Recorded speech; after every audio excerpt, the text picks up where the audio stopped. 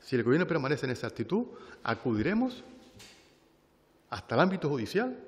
¿Cómo que ahora está aludiendo a que el Parlamento no discuta un asunto que es eh, que afecta a, a más de 15.000 camareras de piso en nuestra comunidad autónoma? Cuando hablamos de camas elevadoras, estamos hablando de que una cama vale 1.200 euros, no 3.000 euros.